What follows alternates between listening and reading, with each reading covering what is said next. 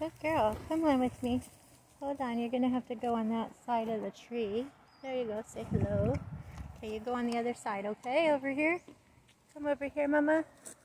Mama. Yeah, come with me. Can you come with me so I can hang this in the tree somehow?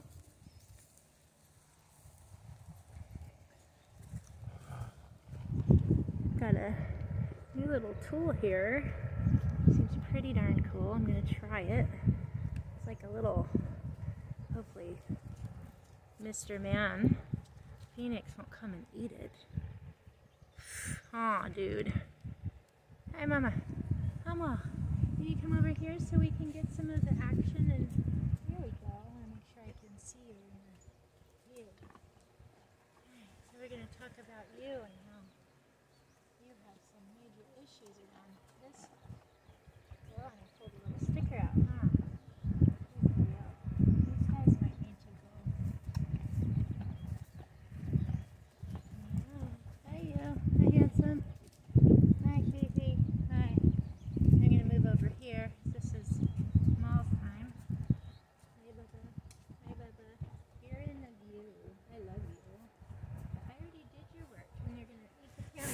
Don't eat the camera. No, don't. Up. Good job. Thank you. No, come here. Ignore that completely. This is this is what we're doing, huh? Our our enclosure is way too. Yeah. Can you tell him?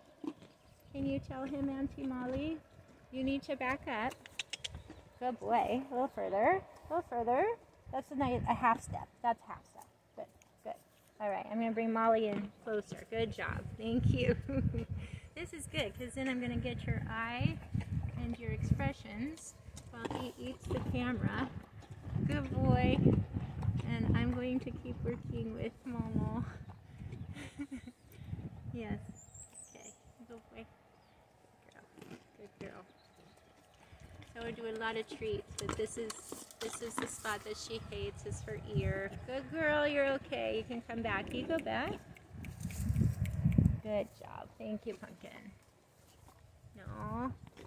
And so Mollie is getting a little worked up here. And then again. go. You need to go back. No, I love you. This is like a comedy show. This isn't even real, real, uh, horse coaching. Am I coaching you? Am I coaching? You need to back up. Good job. Thank you. Now go over there. There. I'm tossing him over there. Back. Go over there.